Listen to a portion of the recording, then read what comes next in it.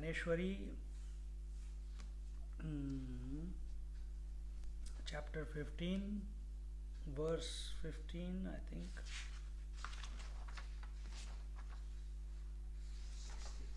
Verse 16, ovi number 491.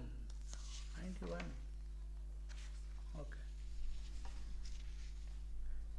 So, here Jnaneshwar Maharaj is saying that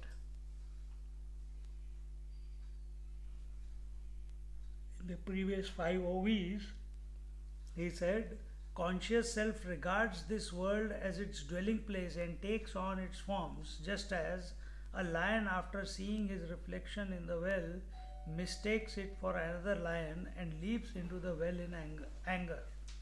Similarly, we also looking at the world thinking that there is something to be uh, chased, something to be interacted with, communicated with, uh, become one with, we jump into the world. But our experience shows that that the that the experience experience of the world is never able to satisfy us. And then he says or the sky remaining where it is throws its reflection in what in water. So this conscious self although non-dual becomes enveloped by dualism. So just like water is one but it is enveloped by waves which are nothing but water exactly the same way this conscious self is one but it is enveloped by duality by the phenomena of duality on the periphery. In this way the conscious self takes a fancy for this city in the form of the world and forgetful of its originator goes to sleep therein. This we explained, the city of nine gates, that story we had told you. Just as one sees a bed and sleeps on it in a dream, so the self goes to sleep in that city. So, first it interacts and then it goes to sleep. Or, in other words, it goes to sleep there thinking there it is getting some solace. It doesn't come and rest here, the sleep means rest. It doesn't rest in the self.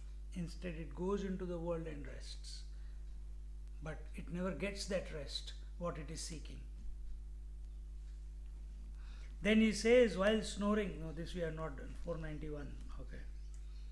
It says, पाठीतिये निद्रे चैनी भरे मी सुखी दुखी महणत घोरे अहमवते चैनी थोरे भूषणा ये सादे।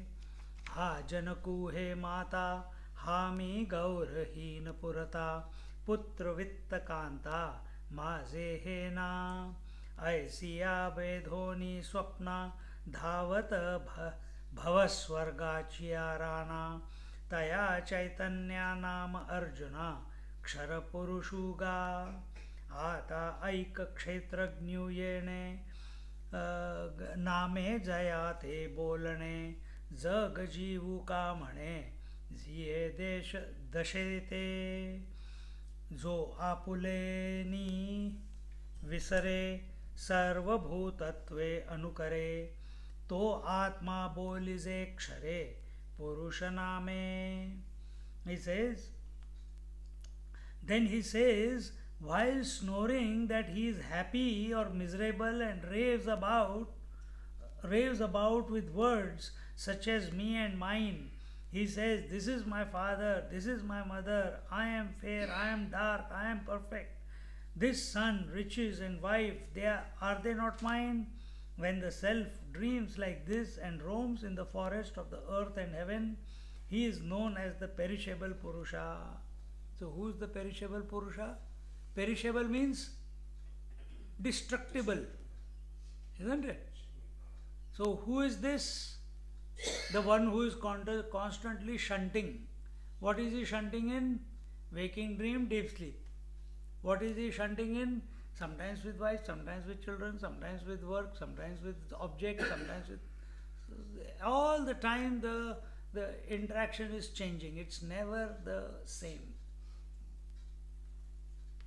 And that is what Jnaneshwar Maharaj is calling as sleep. Sleeping to the self and finding rest in the world. But instead of finding peace in the world, he only gets stressed. When the self dreams like this and roams in the forest of the earth and heaven, he is known as the perishable Purusha. So, who are, what is another name for perishable Purusha? Jivatma condition consciousness what is it condition by body breath mind intellect is it and anandamaya kosha so this condition consciousness is this what you call what is the name perishable purusha now when the one who is called as the owner of the field, Kshetrajna, remains in the state of the embodied self jiva and forgetting his essential nature as self behaves like other beings, he is known as the perishable Purusha. Same thing. So, first it was conditioned consciousness, now it is still the conditioned consciousness, but the definition is different. What is the definition? That who, uh, when the self dreams like this and roams in the forest of the earth and heaven. So, in this world or the other world, the heavens, he roams around. Majority of the people want why they want to go to heaven. Why are the terrorists doing what they are doing? Because they will get the joys in heaven. That's why. See? Why do we go to Kailash? Same reason. To get the joy, blessings of Kailash.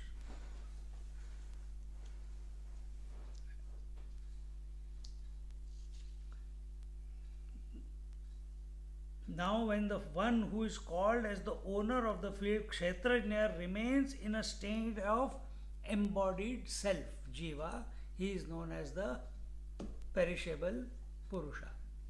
So, perishable Purusha, the one who comes and goes. The one who first that explained was the one who comes and goes. Second one, so so even the father comes and goes, the son also comes and goes, employer also comes and goes, employee also comes and goes. Now we take one step back. What is that?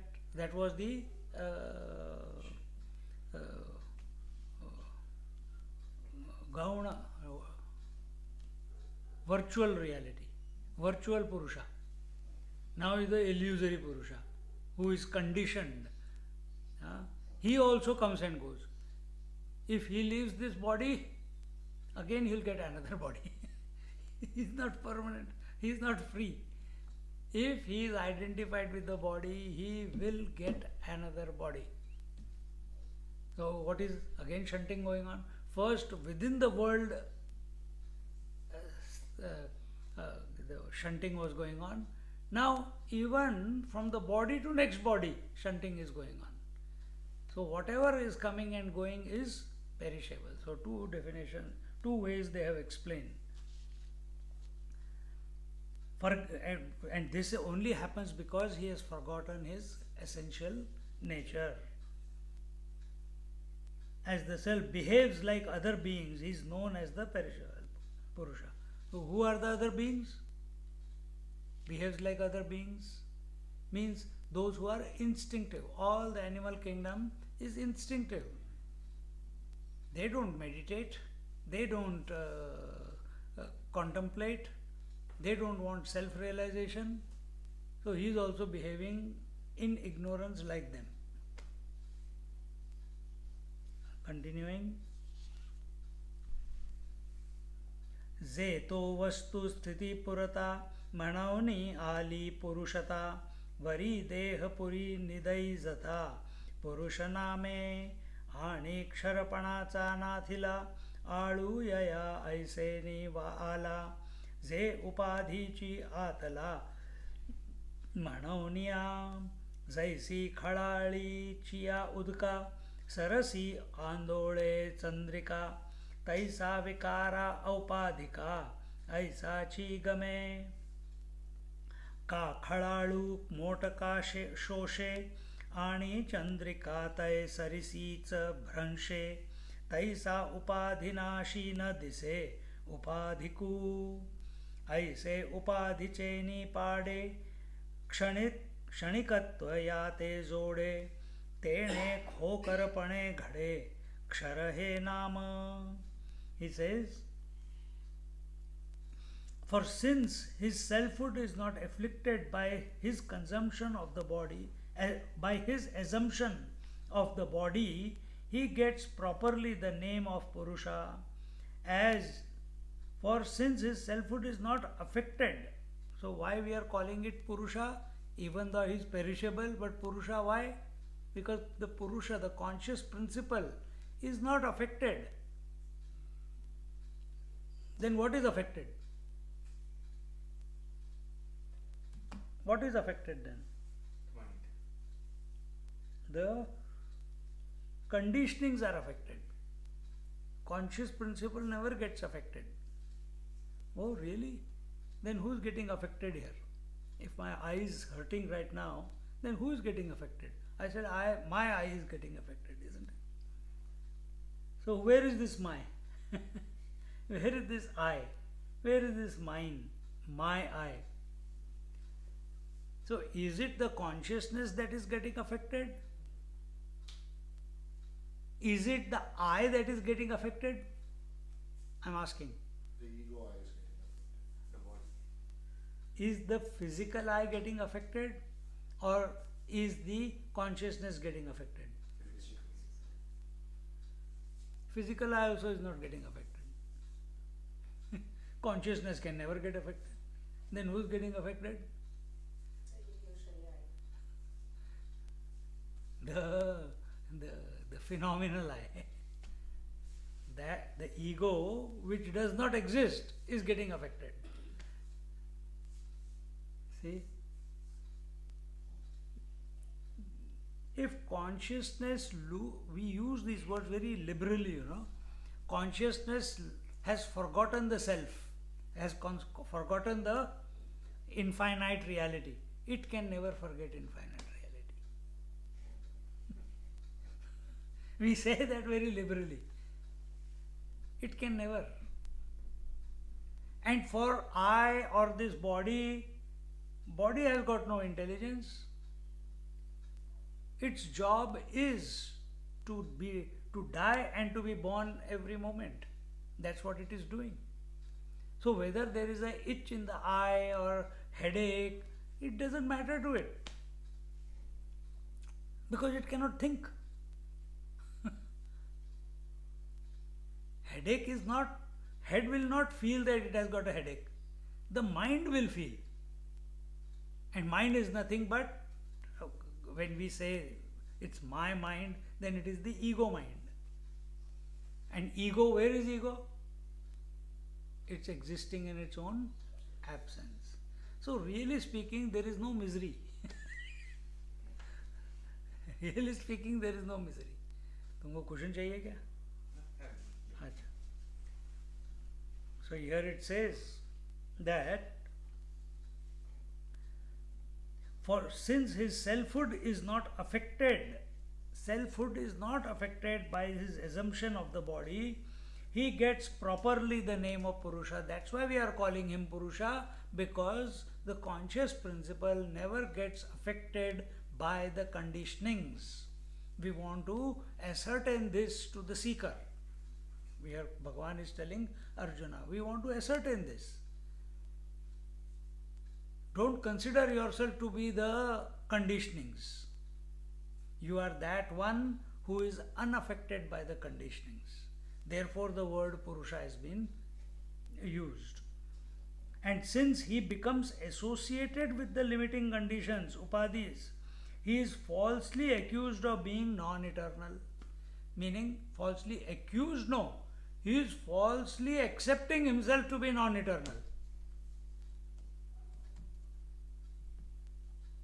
But if he says that if everything is reality, then body is also reality, then why can't I be eternal with body? If everything is eternal. This was the problem of Kamsa and uh, Hiranyakashyap and Ravana. They wanted to be immortal with body. From immortality's point of view, there is nothing called body.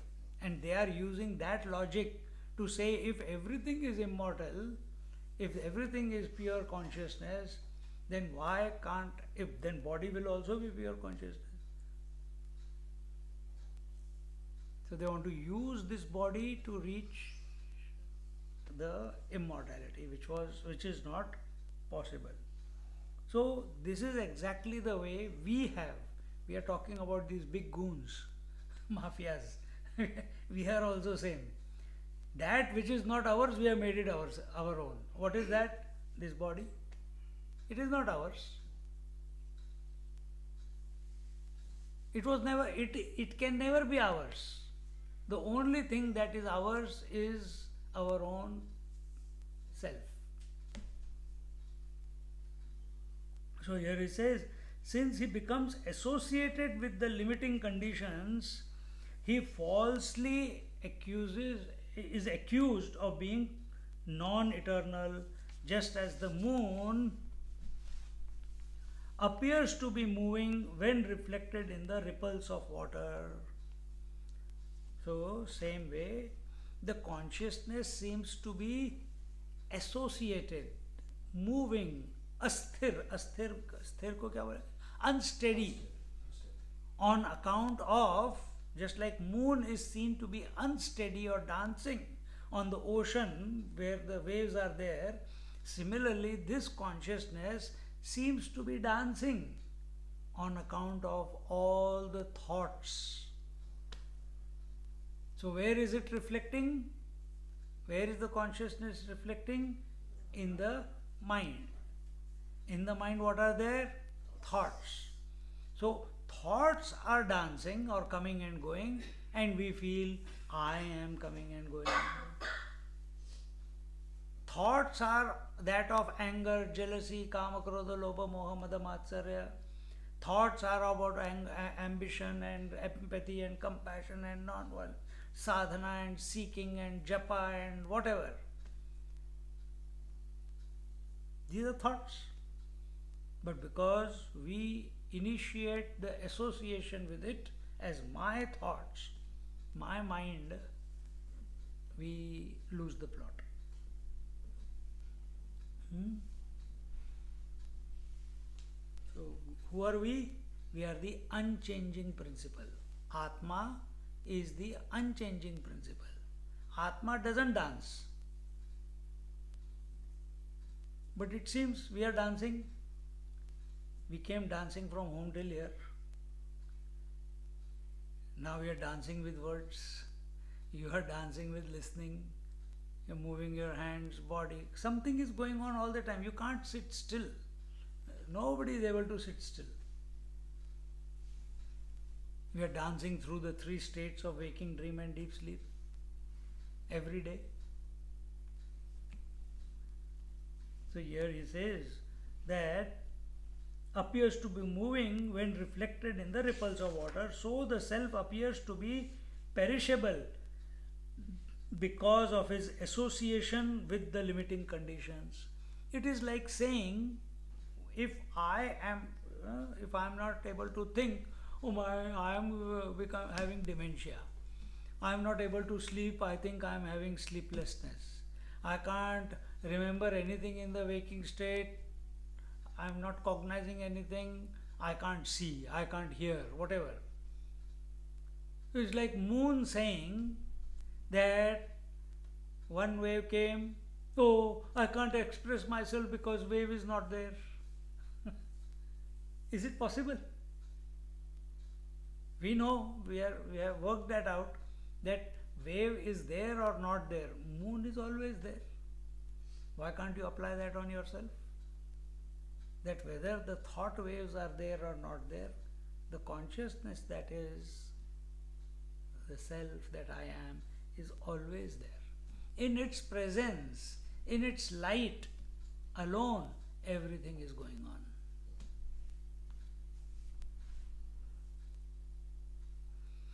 But when that water dries up, the reflection of the moon disappears, and in the same way, with the destruction of the limiting conditions, the self remains in his pristine form. So, what do you mean by th- water drying up or waves drying up? When the body perishes. When the- all the thoughts, not body, thoughts perish. Thoughts, because you can get come to this state, the higher state of being the self, without destroying the body. You don't have to destroy the body. You don't have to destroy anything.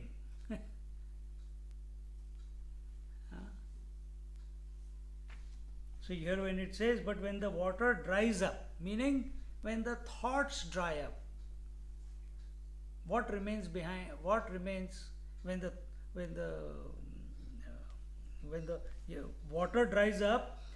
The reflection of the moon disappears. Exactly the same way, reflection of the consciousness disappears. Then where does it go?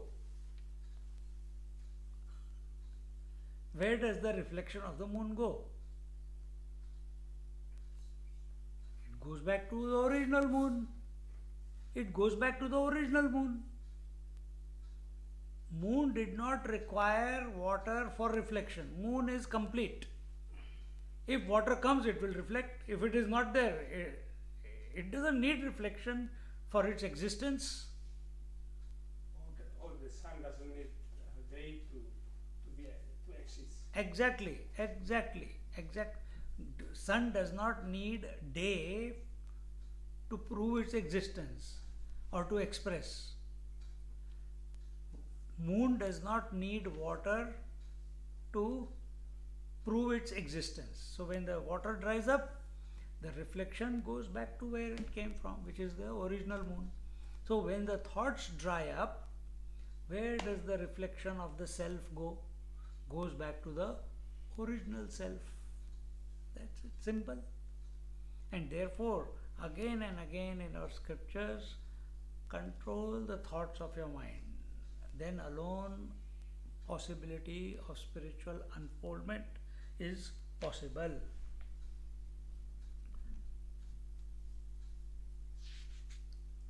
Swamiji, when it is said when the thoughts perish, that means like when you can see the self, Hmm, self.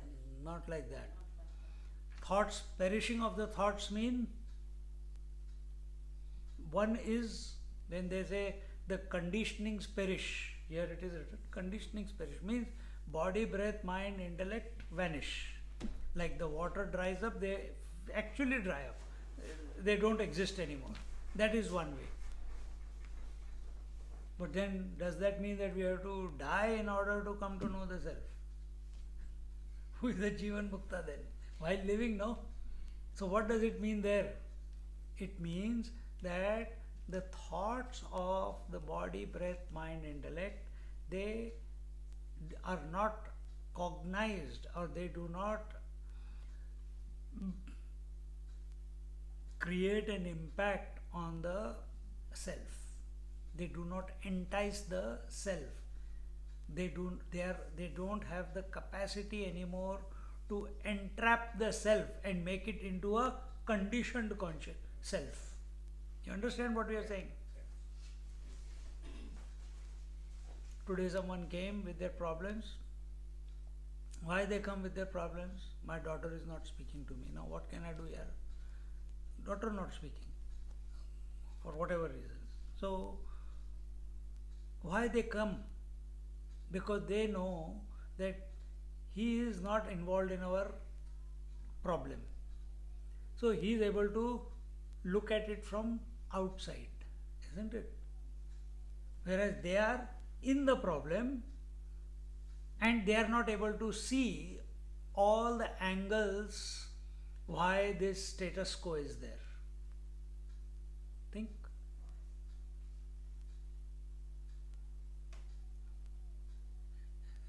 If you are seeing a patient, you have to take one step back before the next patient comes.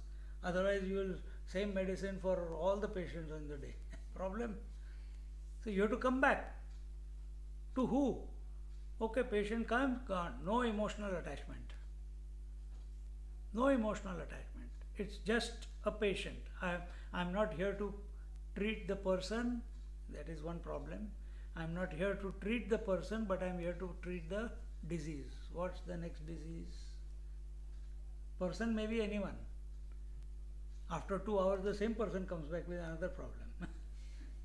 then you will, you will not give the same medicine what you gave before.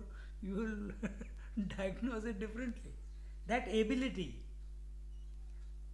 that everything is going on, but you are not caught up in it.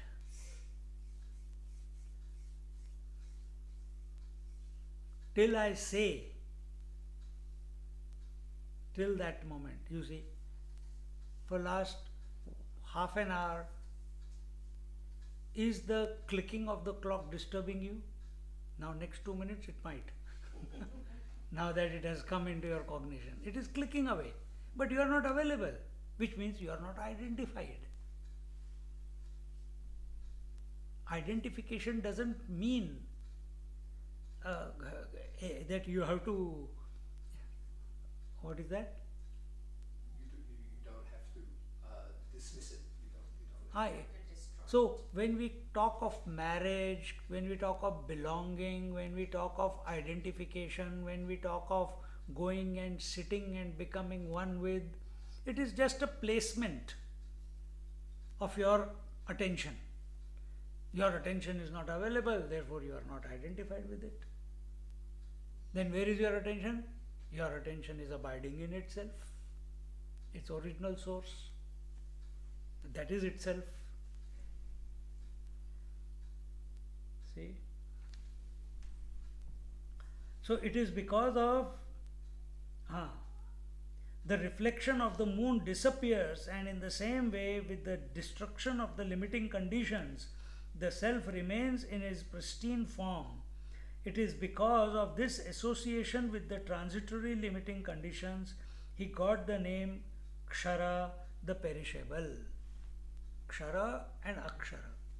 Akshara is imperishable, Kshara is perishable. Who? Purusha.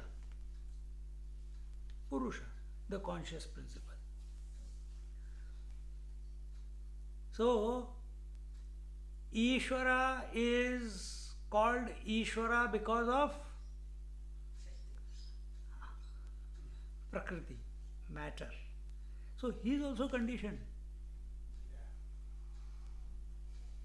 So the ultimate Kshara Akshara, in that Ishvara is also included. Absolute truth is beyond. So does that mean that Ishvara and Prakriti are not there? They're there. Phenomena goes on. If you are aware or not aware, you are aware of this clock, but you are not aware of the clock when you are sleeping. Does that mean the clock will not go on? It will still go on. You are not aware of your activities of your body that I am breathing or not breathing. Whole day you do three, four times pranayama and this and that. But does it mean that the activity breathing stops when you go to sleep? It still goes on. Exactly the same way. Phenomena goes on. It is an eternal phenomena. But here what we are trying to ascertain is who is the perishable and who is the imperishable. Anything that is identified. Now, Ishvara is a different story. It is the ultimate principle. Ishvara is the ultimate, the first phenomena. Now, that phenomena is eternal. it doesn't go go through coming and going. It supports all the coming and going because the Shakti, the Prakriti, it has not manifested yet. Shakti has not, when Shakti has not manifested, the Purusha is abiding in himself. But the moment the Shakti manifests as Sattva Rajas Tamas, that very moment Brahma Vishnu Mahesh come. And Brahma Vishnu Mahesh, they come and go at the totality level. Ishvara doesn't come and go at the totality level. You understand? So, who is Ishvara? He knows that he is the Akshara. He knows. So, who is the saint or a sage or man of wisdom as we are seeing in the Vivek Chudamani? He seems to be expressing through this Kshara, the changing, but he knows that he is the unchanging one. That is the difference.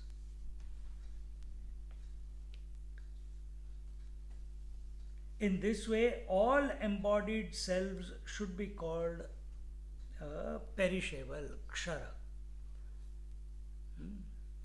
Here we are in the verse of 501. एवं जीव चैतन्य आघवे, हे क्षर पुरुष जाणावे आता रूप करू बरवे, अक्षरासी, तरी अक्षर जो दूसरा, पुरुष पय धनुर्धरा तो मध्यस्तु गा गिरिवरा, मेरु जैसा, जे तो पृथ्वी पाताळ स्वर्गी इही न भेदे तिही भागी, तैसा दो ही ज्ञानाज्ञानागी। पड पढ़े ना जो ना यथार्थ ज्ञाने एक होणे, ना अन्य धात्वे, दुजे घेणे, ऐसे निखिळ जे नेणने ते चीते रूप। पासुता निशेष जाये, ना घट भांडादी होय, तया मृतपिंडा ऐसे आहे। Madhyastase. He says, Now I shall disclose to you the characteristics of the imperishable. So till here was the perishable, the kshara. Kshara again, ah, we have already said. Now the imperishable self. O Arjuna, this other imperishable self is situated in the middle and does not get involved in either knowledge or ignorance. So, where is ignorance? Where is ignorance? In the self. No. Ignorance is of the self. So, ignorance is the first expression of Prakriti. Huh? And where is knowledge? Also in the Prakriti only. This we are not talking about wisdom. We are talking about knowledge. Knowledge. I know this is a camera. I know this is a book. I know this is a house. I know you are all there. This this knowledge we are talking about. Huh? And if I say I know myself, this is also a thought knowledge. So all knowledge and all ignorance here it says, O Arjuna, uh, the, the, the Akshara Purush, he is in the middle, he does not get affected by the knowledge or the ignorance. In other words, another way to put it, he doesn't get caught up in divinity or uh, uh, huh? stupidity, uh, devas and asuras, the negative and the positive, the yin and the yang, the ida and the pingala. He doesn't get caught up in it. So where does he? He is in the middle. He is in the center. Which center? Just like in the cycle, you got the axle. It's in the center. Everything is moving around, but it is remaining as it is, supporting all movement. Sun is where it is, supporting all the movement of the planets. Why only planets? Everything that is on the planets also, it is only supporting all the movement, isn't it? Is the sun moving? No. Same way, this imperishable Purusha, the conscious self, is the unmoving principle, unchanging principle, unreducible principle, ever constant. It's the common denominator behind all activity. Hmm?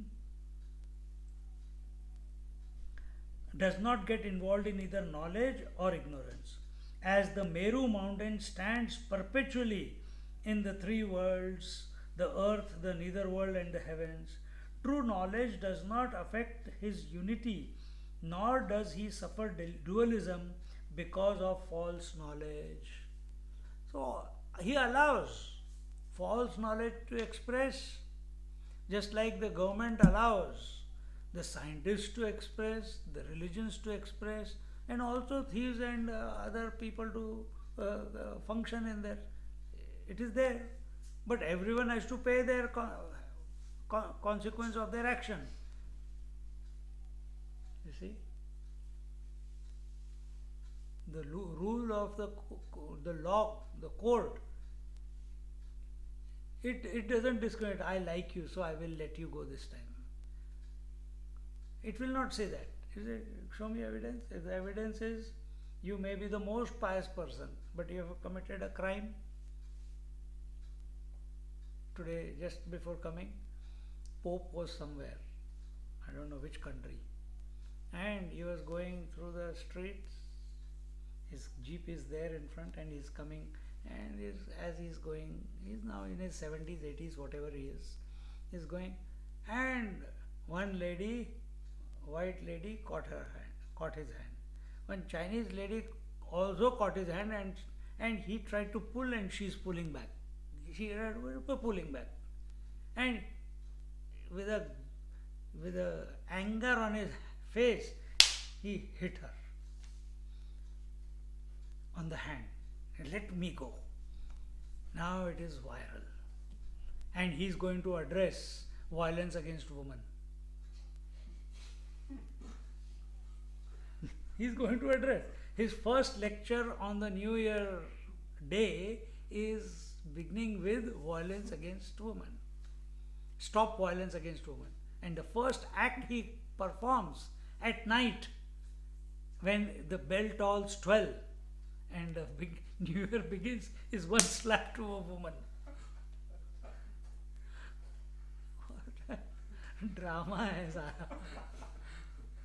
No, it's a big news. he says, Oh, I'm sorry, I should not have done that. But the damage is done. Huh?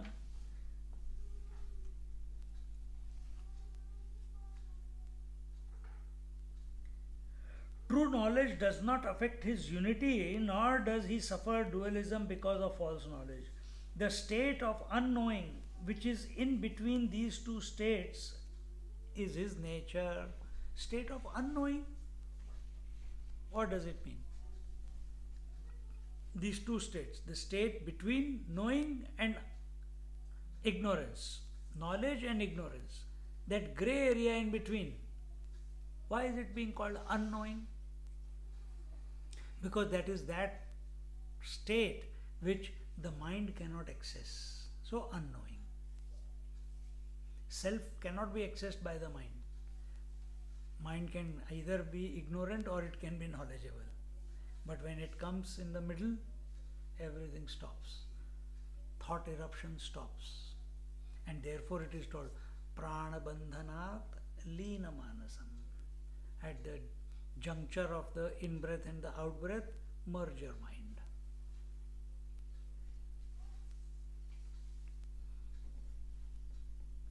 Continuing.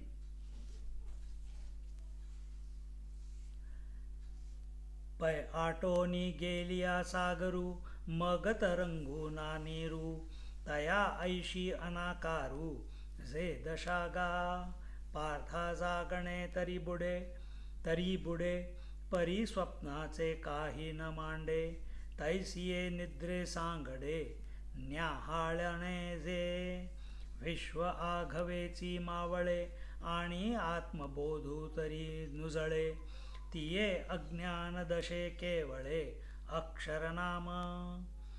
सर्वा कड़ी सांडिले जैसे चंद्रपण उरे अवसे रूप जाणावे तैसे अक्षराचे पै सर्वोपाधी विनाशे हे जीव दशा जेथ पैसे फळपाकांत जैसे झाड बीजी।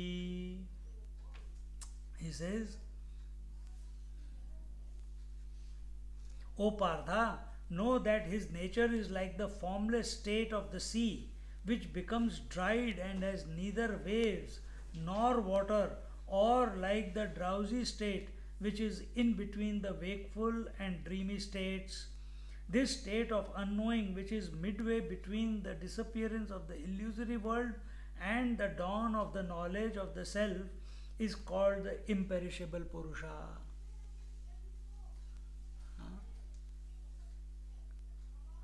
So, who is this imperishable Purusha? who knows yet he does not know. How come he knows and he does not know? He does not know the way we know things, which is through thought. And how does he know? He does not know the way we know ourselves. We are know ourselves as body, breath, mind, intellect, a personality, someone's chi- child, someone's husband, someone's wife. I am this body, I am this mind, etc. How does he know? Without a thought. so it is an unknowing. For, from our perspective, it is an unknowing. And many times people when they go to ne- into meditation, I can't remember, I don't know, I was in meditation or was I sleeping? होता है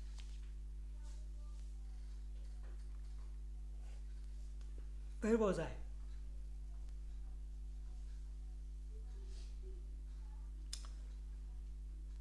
The state of unknowing, which is midway between the disappearance of the illusory world, illusory world, waking and dream, and the dawn of knowledge of the self. Just the penultimate step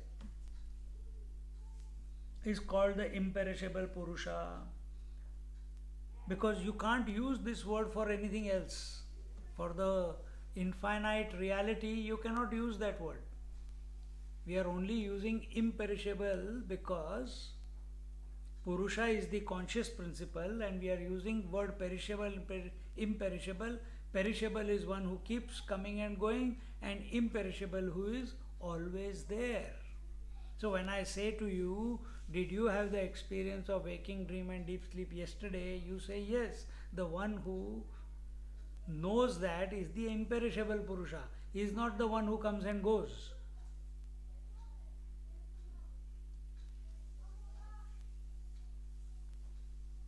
And that is just one example. He is present right now also. He knows. Don't you know that seeing, hearing, touching, feeling, tasting, thinking, ideating, conceptualizing, everything is going on right now? Who is knowing? In whose light all this is happening? That is the imperishable Purusha. He is not attached to whatever is going on. See, if you are attached, you lose the plot. Like that family came today, they are attached to their children, they are not able to see the whole picture of their. I am not attached, so I am able to see. So, when you remember something that I said five minutes ago, were you attached or you are detached?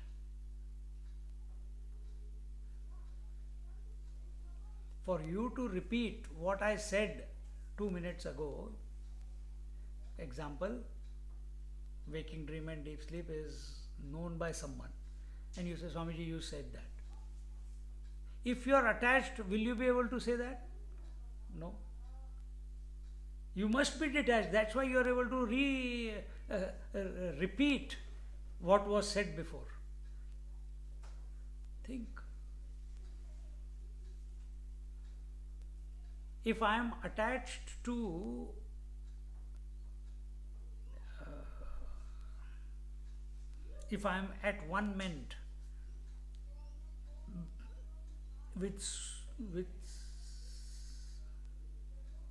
how should I what example should I give?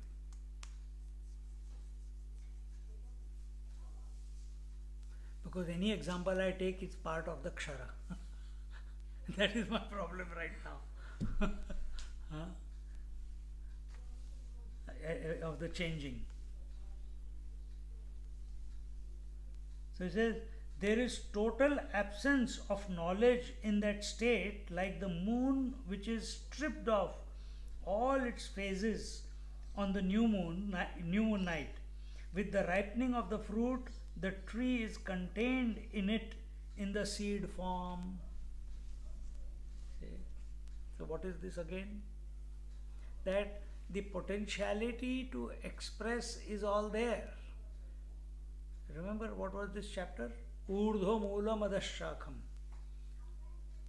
It started came from one seed. It start the whole tree cannot be without a seed. So now what has happened? You have gone back to the seed. The potentiality is there. Can you maintain that position all the time? That is what is being.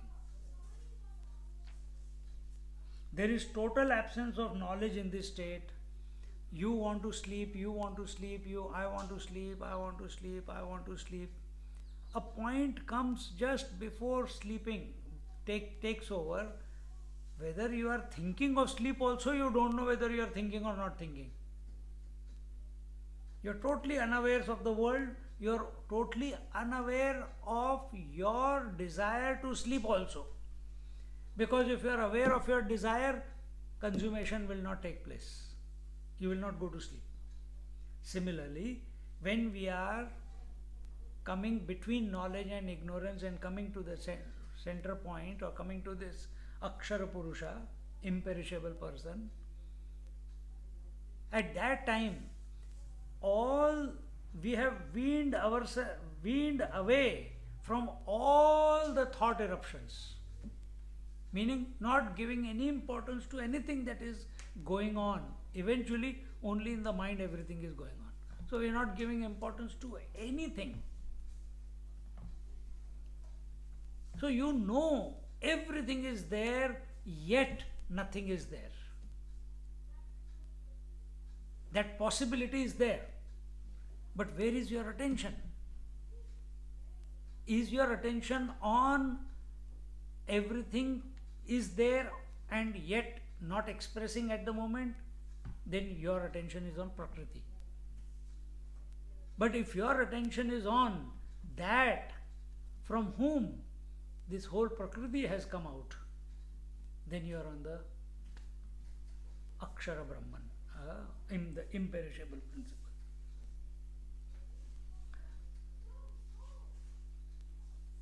With the so, so just like here, the example they have taken is of the the 16 phases of the moon, the 16 colors. So, does moon get affected because of the waxing and waning of the moon, moonlight? no. Think. So, with the coming and going of the waking dream, with the coming and going of the uh, various states, is the conscious self affected? by the coming and going of the thought is the conscious self affected no but how do we live we live as if we are affected by if i say strongly something you idiot. Some of you why did you call me idiot? Why didn't you look at someone else and call him idiot? Why you looked at me? You take it too seriously. So just like the vac the, the 16 changes 15 changes of the moon colors of the moon moon from moon's point of view they don't exist from we are saying that moon is waxing and waning. We are saying there is an eclipse but from sun or moon's point of view there is no eclipse. So exactly the same way. Knowledge and ignorance is going on. The prakriti is coming and getting expressing itself but the akshara purusha is ever steady in its own essential nature just like the water is ever steady in its own essential nature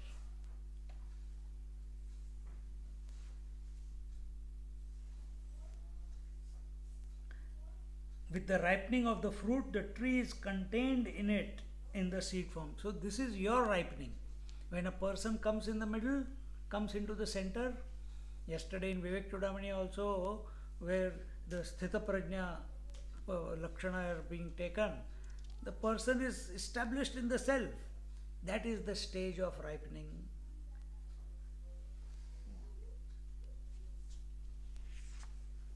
And in this way, in the 511th verse.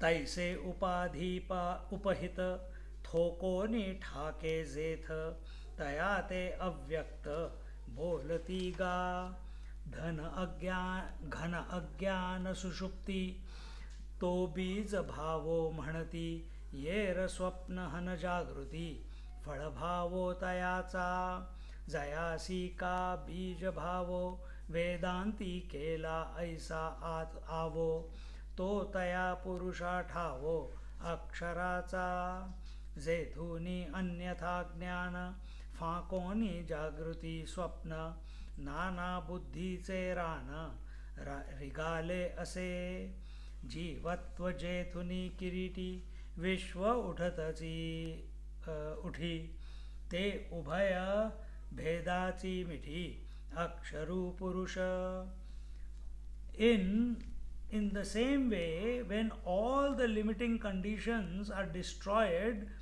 that state in which the embodied self along with his limiting conditions becomes merged is known as the unmanifest avyakta. Avyakta? What is avyakta? Unmanifest. Where is unmanifest? Unmanifest avyakta is the ishvara's prakriti the maya that is avyakta. Avyakta means she has not started expressing here. Here we are talking about everything going back into the unmanifest. Unmanifest is vyakta means expressed avyakta means unexpressed. So when the entire creation is unexpressed where when you go to sleep where does the whole waking world and dream world go? It, it goes into avyakta. The moment you wake up, again it becomes vyakta. It starts expressing again. How does it express? Because it was there in your memory, so your mind is able to project it, project the same world again. or so it seems.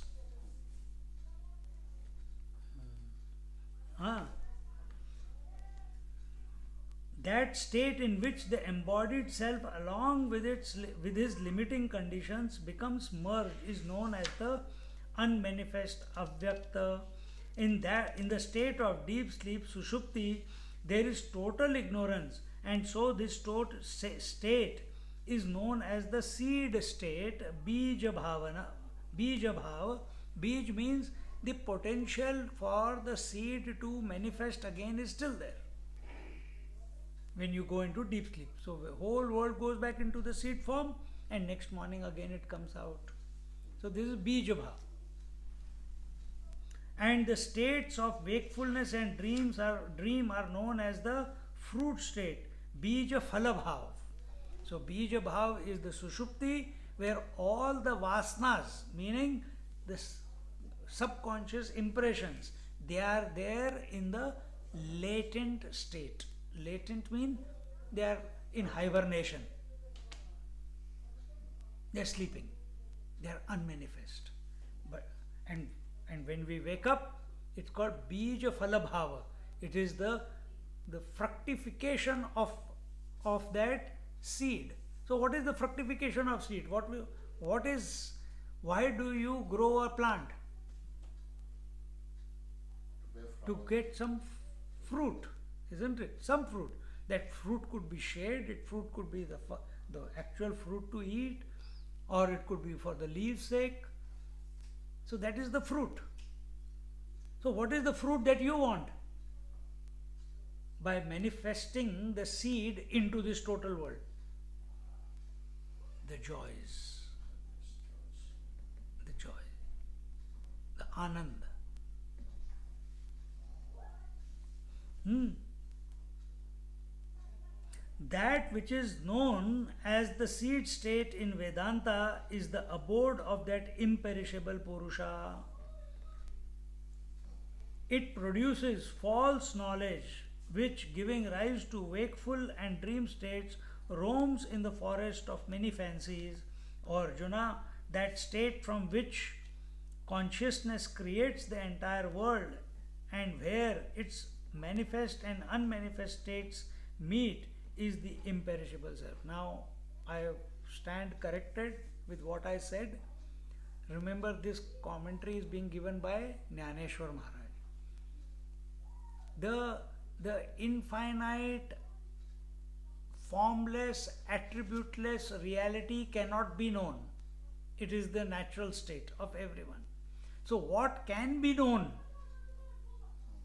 What can be known. Is the first manifestation, and that also we told before is an eternal phenomena. From his Jnaneshwara's point of view, following the Kashmiri Shaivism uh, lineage, for him Shiva Shakti is an eternal principle. Shakti is the seed, and Purusha is the the, the, the, the imperishable. So here Shiva and Shakti, that Shakti is the seed and Shiva is the imperishable Brahman. In other words, Ishvara is the imperishable Brahman and Maya or Shakti or Prakriti is the seed. Is the seed. So when we are using word imperishable Brahman, we are mentioning it to about something or someone, isn't it? Absolute reality cannot be mentioned because it's beyond our scope of understanding, beyond our mind. So our mind can maximum come to surrender at at the feet of the Ishvara and come to recognize that this principle is ever functioning. So I stand corrected when I said he, from his Shankaracharya says that way, Jnaneshwar Maharaj he says the imperishable Brahman is the uh, the, the state of Shiva where the Shakti is in the seed form. That which is known as the seed state in Vedanta is the abode that imperishable of that imperishable Purusha. It produces false knowledge, which giving rise to wakeful and dream state roams in the forest of many fancies. Or Arjuna, that state from which consciousness creates the entire world. That state from which consciousness creates the entire world and where its manifest and unmanifest states meet is the imperishable self where the where the manifest and unmanifest state meet. So neither we must get lost in the names and forms neither we must get lost in the void. So where is that point? On one of my meditations it's on youtube. Where the Om ends. Your attention is where the Om ends or where the Om begins. What happens? You start realizing that Om is mind is chanting the Om, then there is silence, and then again Om is beginning. Initially it is Om, Om, Om, Om, and as you try to catch that point where the first Om ends and the second Om begins, the gap between the two Oms, Avyakta, starts manifesting and elongating. So then it becomes Om, Om.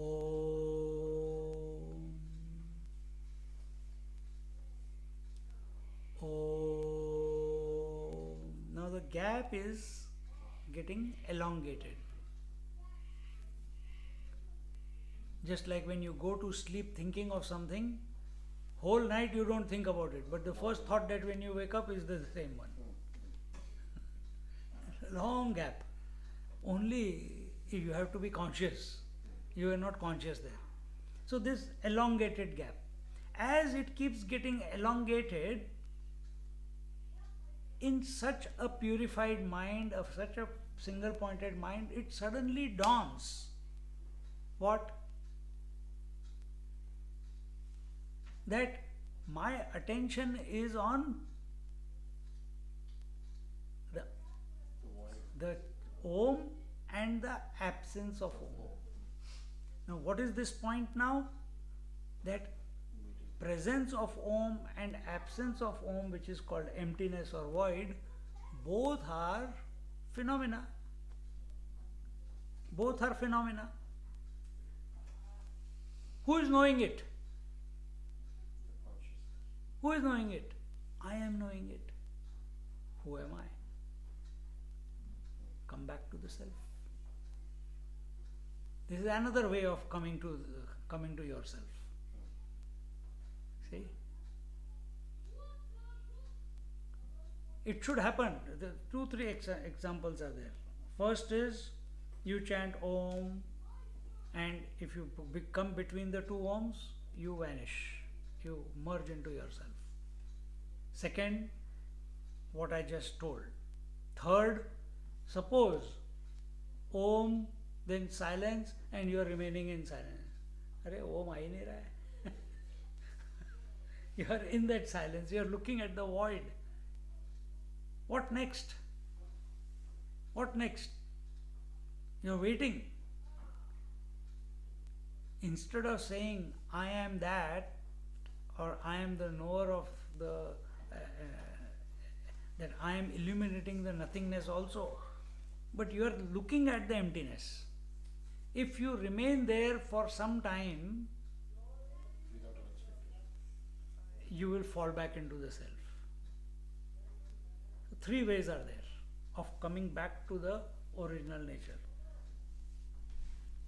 And in this way, uh, where are we? Where? Ah. O Arjuna, that state from which consciousness creates the entire world and where its manifest and unmanifest states meet is the imperishable self. Then in 516th verse he says, ये रूक्षर पुरुषु का जनी जिही खेड़े जागृति स्वप्नी तिया अवस्था जो दोन्ही विया लागा पै अज्ञान घन सुषुप्ति ऐस ऐसैसी जे का ख्याति या उणी एकी प्राप्ति ब्रह्मा चीजे। साचची पुडती वीरा, जरी न येता स्वप्न जागरा, तरी ब्रह्म भावो साचोकारा म्हणो येता। परी प्रकृती पुरुषे दोनी, अभ्रे झाली जिये गगनी, क्षेत्र क्षेत्रज्ञू स्वप्नी, देखिला जिये।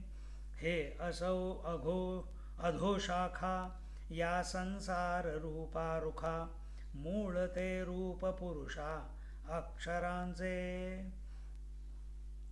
He says, the perishable self assumes a body and experiences the state of wakeful and dreams, dreaming states. That from which these two states originate is the state of full ignorance. So, where is the multiplicity, duality or multiplicity coming from? From the state of ignorance. It cannot. And what is that ignorance? Another word for ignorance? Deep sleep at individual level. Maya or Prakriti or just now we used one word Avyakta. They all mean the same. Ignorance, Avyakta, Maya, Prakriti,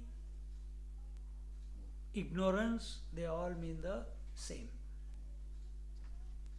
See, this is not told to so that you don't get lost in words. Understand that all these mean the same, and this principle is functioning at totality and uh, in uh, samashti and vyashti, both macro and micro, both level, it is functioning all the time. And because multiplicity has come out of the unmanifest, what is another word for unmanifest? Ignorance. Is there a thing called ignorance? Is there a thing called nothingness? And so we are, see, this is the language that is employed. That the whole creation has come out of that which is not. So, how can creation have a validity? How can creation have a validity? But Kshara Purusha is caught up in creation because he is identified with the creation. And he is identified with the creation because he is identified with the conditionings. And why we are studying this? So that we de identify from the conditionings and we recognize that these conditionings with which we are experiencing the world of space time objectivity is all of this is born out of ignorance. So it is not valid. Then what is valid? That which is always. Which is always? Self is always. I have never experienced my absence. I have experienced the absence of the body. I have experienced the absence of the world. I have experienced the absence of the waking dream and the deep sleep. I have experienced absence of everything that I know or don't know. But I never experienced the absence of myself. Recognize your true nature. You are the imperishable one. In essence. Otherwise, like Hiranyakashipu has the body, I am imperishable. Hmm? That from which these two states originate is the state of full state full of ignorance, known as the state of deep sleep. So where have the waking and dream come from? They come from deep sleep state. So also at the totality level.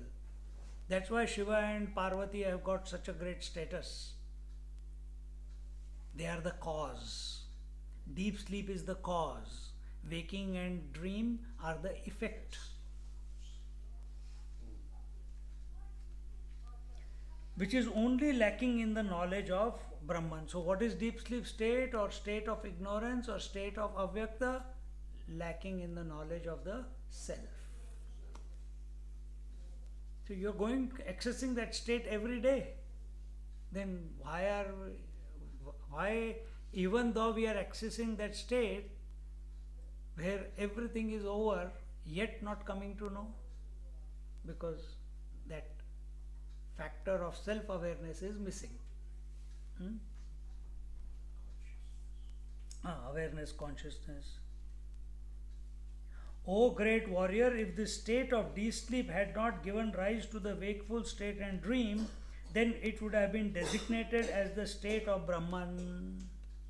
If this deep sleep state had not given rise to the waking and dream, which are the fruit or the effects, then this state would have been called as the Brahmic state. But two clouds in the form of Prakriti and Purusha come in the sky in the form of deep sleep, which witnesses the field and the knower of the field in the state of dream. This imperishable self is the root cause of this expanding tree in the form of this mundane existence. So, this imperishable self, this unconditioned consciousness, this irreducible consciousness is the cause of this Ashwatha tree, which supports the manifestation as well as the unmanifestation. Unmanifestation is the seed. The seed cannot sprout without the conscious principle. But because conscious principle is there, because mother magnet is there, it doesn't mean that the iron filings have to be attached to the mother magnet in order to get magnetized. In its presence, they start, activity begins.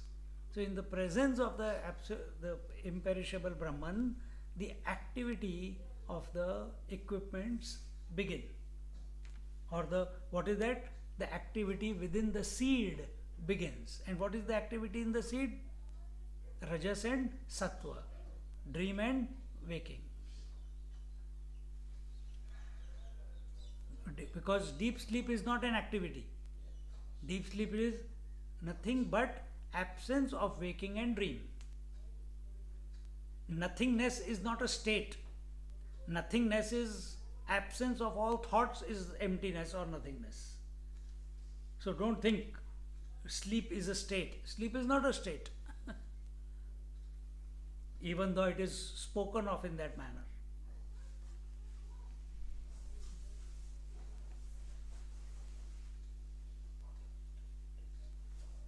But why is this perfect self known as Purusha?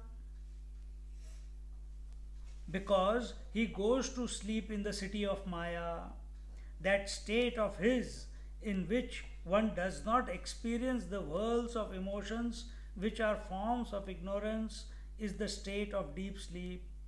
So, the, the speed of thought is arrested in deep sleep. There is no agitation of thought. There is no restlessness of thought. There is no distraction of thought. Everything is arrested. It goes back to its seed form, unmanifest form. And that state is called deep sleep.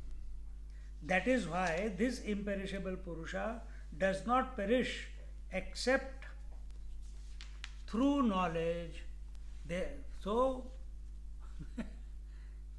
if you reduce all the thoughts consciously in your mind, meaning you make the mind go to sleep. Be careful, be attentive what I am saying.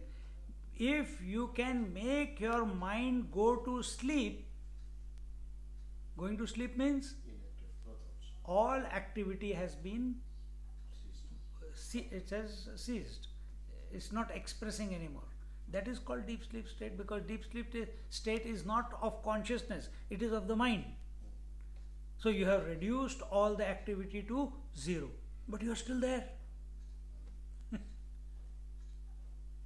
The fact that you know that you went to sleep means you are there. So if we can bring that about, here he says, uh, therefore, uh, no, previous one. That is why this imperishable Purusha does not perish. So the moment this seed expresses as waking and dream, at that very moment, this Purusha, as if, as if, gets identified with the dream body or the waking body. In dream also you have a body, isn't it? You are conducting all business there. In waking also you have a particular body. The moment waking and dream express means thought eruptions take place, rajasic or sattvic, at that very moment Kshara Purusha comes into existence. Meaning conditioned consciousness comes into existence. The moment wife comes in front, husband comes into existence. Moment son comes, father comes into existence. The moment waking and dream come into exist come in front. Simultaneous. That very moment, the conditioned consciousness or Kshara Purusha, the changing one principle, he comes into expression. And where is this changing? It is only ephemeral. It is just happening. It's just happening on the periphery. We have taken it to be more as the mainstay. Mainstay is the imperishable, the essential nature of ours. So, what is then exercise for us to get to imperishable Brahman? Simple. Reduce all the thoughts ये न के न प्रकार that's what in Amrit Anubhav after this chapter what we started guru sthapana after that it will come the vaikhari madhyama pashyanti para और you do pranayama और you yesterday exercise that I gave all these different all sadhanas यमनीय asana pranayama pratyahara dharana dhyana samadhi ultimate what is that state Cessation of all thoughts. Yeah, Vaikhari, Madhyama, Pashyanti, Para. What is Para? Cessation of all thoughts. Kundalini from Muladhar up to Sahasrar, when it reaches Sahasrar, cessation of all thoughts. See? Kumbhak. If you put Kumbhak, so breathing in is not there, breathing out is not there, only uh, holding. If you keep holding, if you increase that duration, activity is not allowed to generate. Again, you are there. So, different, different ways, different, different ways are there to bring about cessation of thought in the mind. If you can do it consciously, many times you will slip, many times you will go to sleep. Keep practicing on a daily basis. Somewhere, one day it will click our sadhana, our sitting down for meditation or whatever sadhana we are doing, it must result in reduction of thought.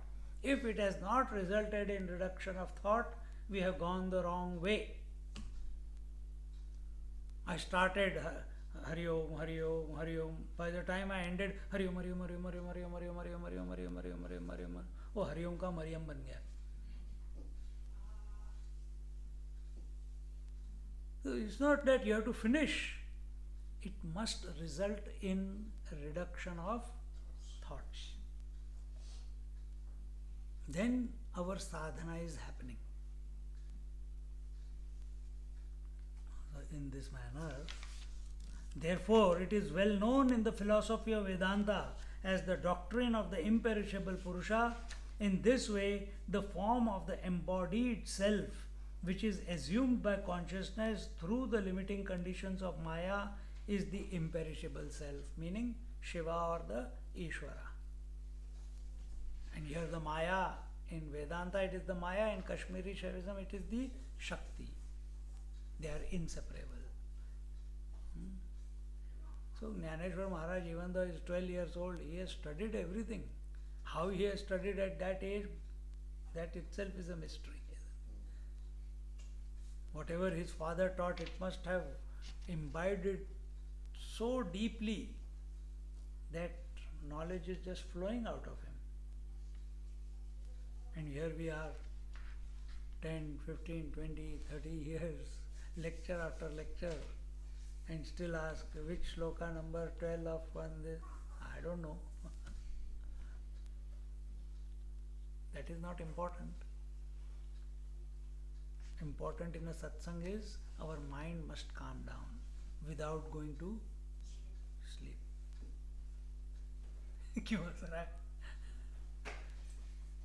it happens, we also, even when we were studying with Swamiji, there were times we had perfected it sit straight and go to sleep. Not that we are trying to go, we want to go to sleep, but sometimes it come on, six lectures every day for two years. Initial stages, it was difficult to keep the eyes open. so therefore I have to write, write.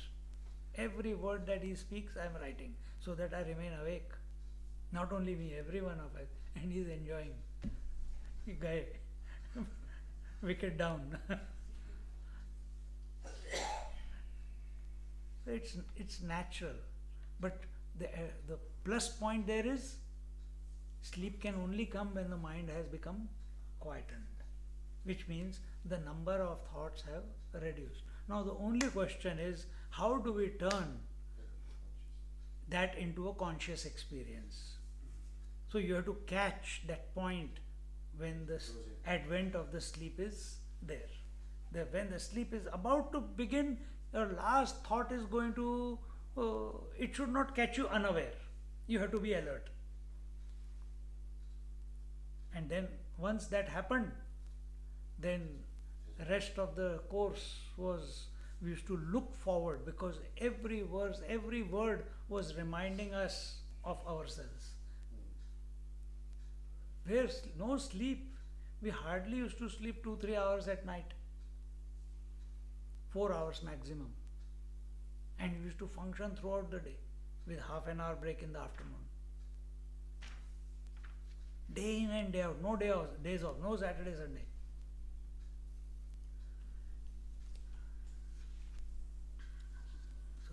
This leads us to the next verse, the 17th verse.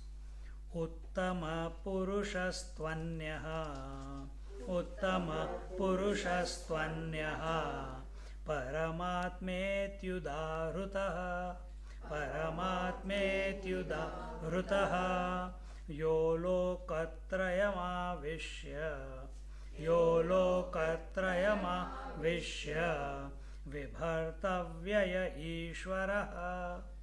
भर्तव्यय ईश्वरः। We'll look at this verse in our next class. ॐ पूर्णमदा, पूर्णमिदं, पूर्णात् पूर्णमुदच्यते, पूर्णस्य, पूर्णमादाय, पूर्णमेवावशिष्यते।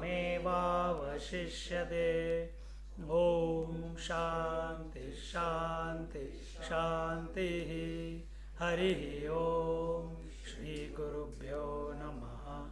हरि ओम।